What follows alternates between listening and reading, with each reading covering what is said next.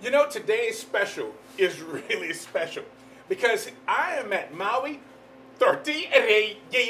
Tortilla, say it, man, say it. Mawi Tortilleria.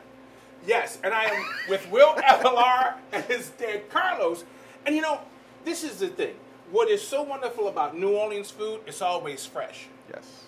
Executive chef over at Meril. Yes, sir. Fed me many a times. Yes, sir. But now we're here with the man that taught you what you know. Everything I know. Everything you know. What makes a good tortilla? Well, you have to start with the very beautiful ingredients, natural.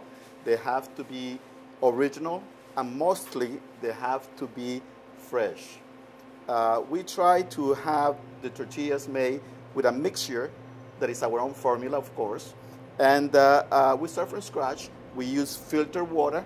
Everything that we use is natural. Uh, we try to keep healthy because we like to eat here in New Orleans. So we are concerned about cholesterol. So this is cholesterol free. Uh, uh, no preservatives in these tortillas. We try to make them every day. And, and you make them with corn, right? This is corn, exactly. They are corn tortillas. And uh, the, this fills a niche over here in New Orleans because we have a growing Hispanic community and they love tortillas, you know that. And they have to buy them over the counter, and sometimes they're very old or they don't know how long they are. Well, you know, you see them in the grocery store all the time. Mm-hmm. And, you know, being the gringo here that can't pronounce it, I can eat them. So, but I can appreciate what it takes to make it work well. And, you know, like we were talking, where when you go to that bakery and that fresh bread, Mm-hmm. You could smell it walking up to the bakery, and then it, it's it's the same feeling that you get when you are going to like a bakery where you go buy a fresh baguette or a fresh loaf of Leidenheimer po' boy bread, and and it's it's just it reminds me of when I was growing up, like being able to go to the grocery store or to the bakery itself and just buying a loaf of bread, smelling it all the way home, and then when you get home, taking that first piece off and just it, it that's the feeling I get when I get when I walk into Mawi, and and it, it reminds me of just that bakery feeling, you know.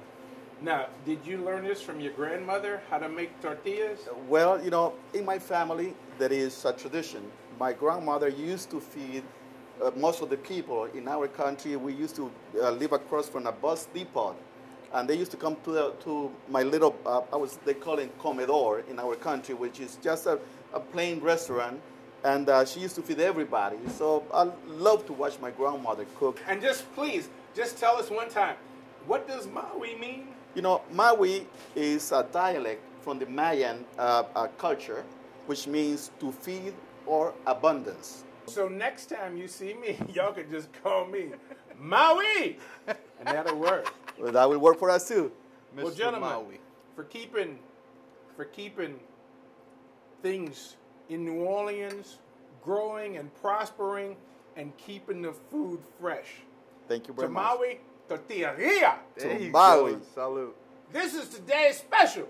I'm Chef Kevin Belton for WWL. Salute. Salute.